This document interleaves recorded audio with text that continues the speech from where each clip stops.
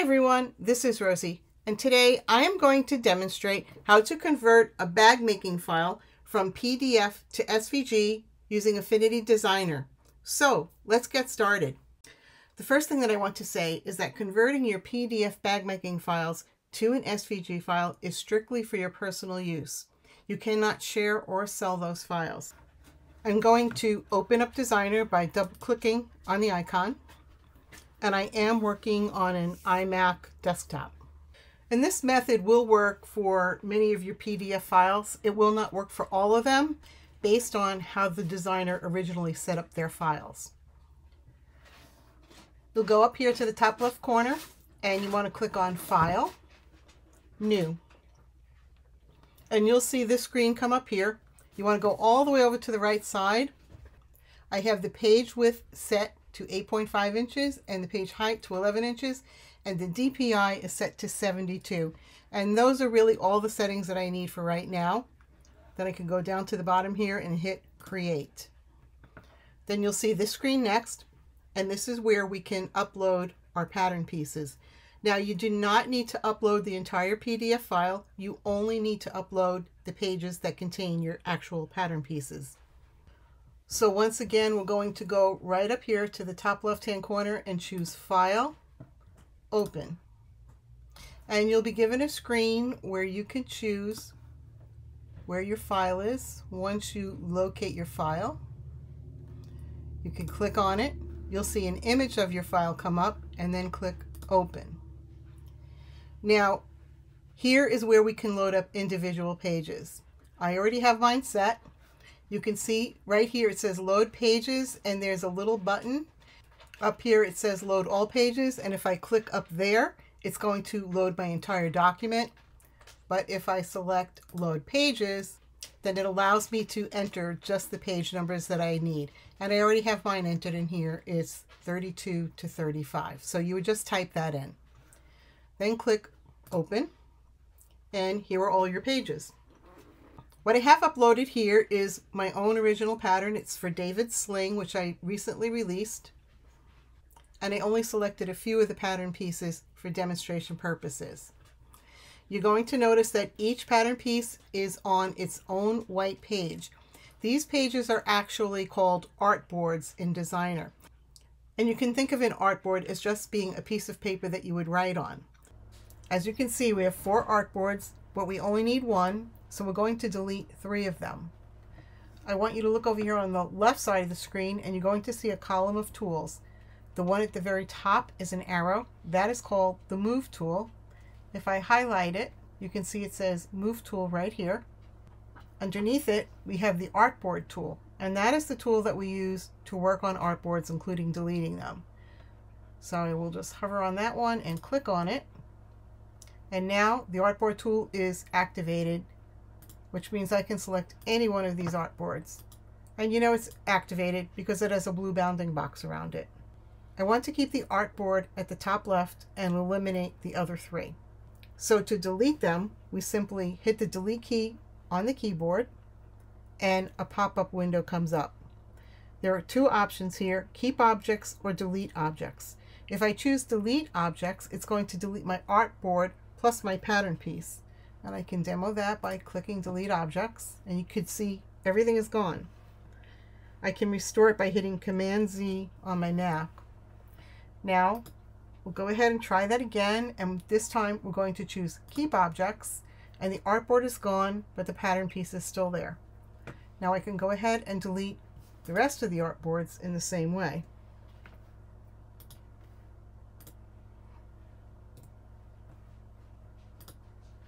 Next, I want to make the remaining artboard larger, and I can do that just by clicking on it to activate it. And then I can drag the edges of the artboard to make it larger. Now I want to go back to my Move tool, so I will click on it, and then to activate it, I can click anywhere inside the artboard. Now I want to rearrange a few of these pieces here. So I'm going to select them and move them. I want to rotate this one And if you hold down your shift key as you're rotating, it will snap into place at a 90 degree angle. And then I'll do the same thing with this one here.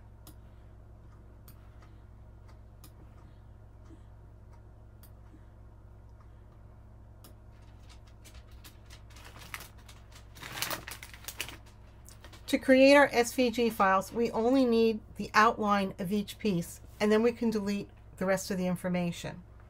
There's a couple of ways that you can do this. One is you can select on each element and hit delete, but that's actually a little bit tedious to do. What I like to do is just click on the outline and drag it away. I'm also going to pick up my 2 inch test square because I want that one as well. And then I can go ahead and highlight what's remaining by dragging my cursor over it and hit delete. Now if you go to drag one of the outlines away and the entire piece is moving, that probably means that the piece is grouped together. So you want to go up to the layers panel and click ungroup. And now you should be able to reselect it and move away the outline.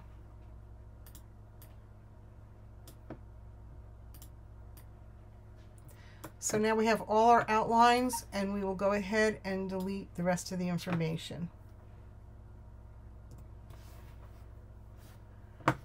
And I want to move all of these pieces back up to the top.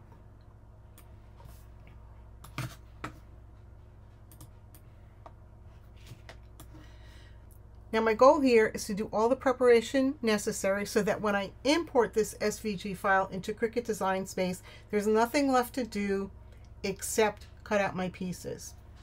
So the pieces that I have here along the top will be cut out from exterior fabric. These two pieces will make up the back. This is my test square, and these three pieces will be for the front pocket. Then I'm also going to need some lining fabric for the pocket. So I want to duplicate the three pieces that I have here. So I've selected them. Then I can go up to Edit, Copy, Edit, Paste. Now I'm not using the keystrokes that you could normally use because I only know the ones for Mac. I don't know what they are for PC. So I'm just trying to show you what you would need to select from the top menu. So again, these pieces will be for exterior fabric and these pieces here will be for lining fabric. The next thing that I need to do is merge the two pieces of the exterior back so that it becomes one piece. So I'm going to select both halves and I'm going to go over here to my alignment tool. And the first thing that I will do is align the tops so that they're even with each other. I can go down here where it says align vertically and choose this option which says align top and now those tops are even with each other. Now I need to eliminate the space between the two halves so I can go up to this icon right here and it says space horizontally. If I hit that it's going to butt the two pieces together. Now you need to look at this box over here where it says 0 PT. That means zero points. What it's telling designer is that we want to bring those two halves together with zero space in between. If we were to put in a value of say five points, then it would bring those two halves together, but there would be five points of space in between the two halves. So you want to make sure that that box is set to zero. And then we can hit apply. Now we're not done because even though we've butted those pieces together, they're still two separate pieces. So we need to merge them. And the way we do that is to go up to this icon right here, which says add. If we click on this, it actually merges them together. So now it's one piece. So I will click off of it and then click back on it again. And it moves now as one piece. And you also know it's one piece because that line that was in the middle is now gone. The next thing that I want to do is color code these pieces so that when we get into Cricut Design Space, it will be able to distinguish between which are my exterior pieces and which are my lining pieces, and then it will set up the mats accordingly. So the first thing that I'm going to do is highlight all of the pieces on the top here. I'm actually going to have to move these ones down a little bit first so I can select my top pieces.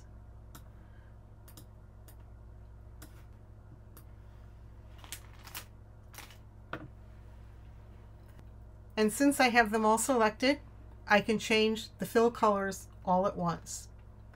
So if you look over here on the right side, you're going to see a color wheel, and then you're going to see these two icons right here. The one that's the solid circle is the fill color for the piece. And behind it, there's another circle that looks like a donut. That is the color of the stroke. So we'll start by changing the fill color of each piece. And you can go ahead on the color wheel here and select whatever you want. They're coming up black. And the reason why they're coming up black is because you have this little circle right here. And it's at the darker end of the triangle. So if you move that around, you can pick a color that you like just by moving that little circle within the triangle. Now we're going to change the color of the stroke. So we'll select the stroke icon and we want to change the color of the stroke to no fill. So we'll choose this little button right down here, which stands for no fill. So now each one of these pieces has no stroke. So now I can go ahead and set the color for my lining pieces. Again, we want to choose the fill icon first. Select a color. Again, we move this little circle around inside the triangle to get the color that we want. Then select the stroke icon and set it to no fill. These pieces are actually now ready to be exported to our SVG file. But before we do that, I want to show you how we can create something called a preset that will enable you to export your SVG files to Cricut Design Space every time without having to go and change your export settings. So you want to go up to File and choose Export. This screen will come up. You want to make sure that it's set to SVG. And now we're going to go ahead and set up our preset. Once our preset is completed, created, it's going to go in this area right here. So click on the More button. And this is the area where we create the preset.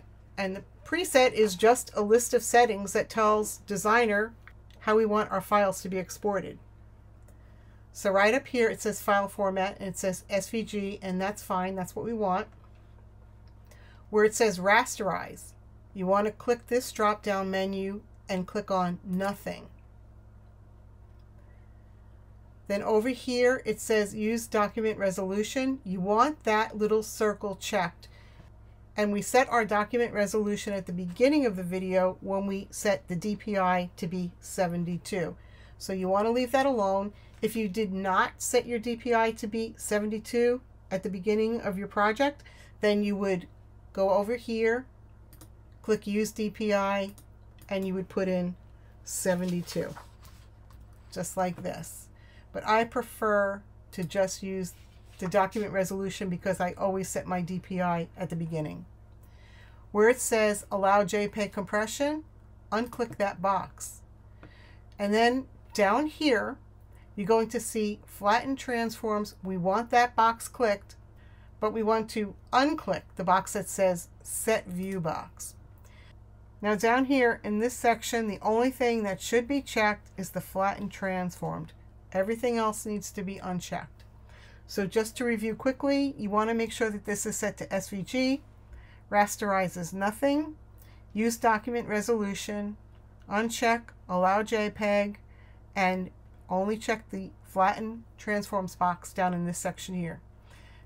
Then you want to go over here where it says manage presets, click on that, and then it says create preset and it will ask you to give to give it a name. So I'm just going to call it Cricut. And then I'm going to say OK. And then we can close. And I'm also going to cancel the export. So the first thing that I want to do is select all of the pieces that I'm going to export by dragging my cursor over every one of them. Then I'm once again going to go up to File, Export, and it should be set to SVG and you can see that it's put my preset for Cricut right here. Now, if you don't see it, you can click this drop down menu and it's going to give you all of the options that you have for exporting to SVG. And of course, we want Cricut, so we're going to leave that alone. Now look right over here where it says area and it says page 32. So what does page 32 mean? Page 32 is the name of the artboard.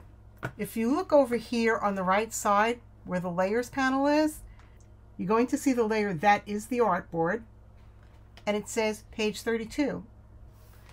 Now why is it called page 32? When you import your PDF pages into Designer, Designer looks at the page to find something that it can use to name the artboard. On my PDF pattern files, on the top right corner of my written instruction pages, I have written page and then whatever, page number, whatever. So this particular artboard, when it was imported, was page 32. But for our purposes, it doesn't matter what the name of the artboard is, and you could actually go ahead and change the name of the artboard in the layers panel if you want to. But over here, where it says area, page 32, this does matter because what that is telling designer is that we want to export the actual artboard plus all of our pattern pieces. And we don't want to do that. We only want to export the pattern pieces. So if I click on this down arrow right here, I can choose selection only. So now it's only going to export the pieces that we physically highlighted. And now we're ready to hit export. It's going to give it a name. You can change it to whatever you want. I'll just call it David Sling. And I'll save it to my desktop and hit save. Now we're ready to go to Cricut Design Space.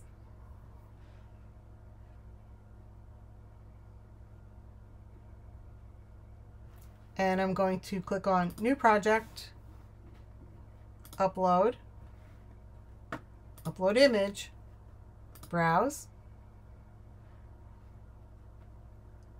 choose my file, say Open, comes up with my images, say Continue, and then upload. And here's the project loaded into Design Space. I'll minimize this screen here a little bit. I'll reduce the size so that you can see it all at one time.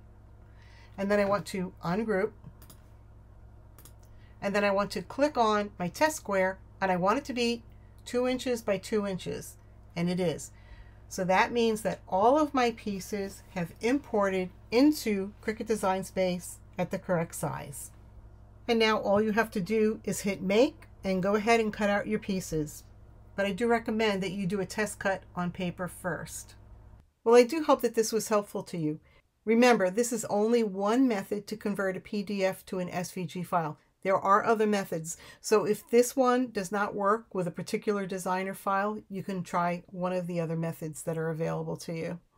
I want to thank everybody who has supported me by liking my videos and subscribing to my channel. If you're not already a subscriber, I really would love to have you as one. I do also have a Facebook group, and I would love to see you over there. It's called Rosie and David Patterns. So please like and subscribe, and thank you for watching.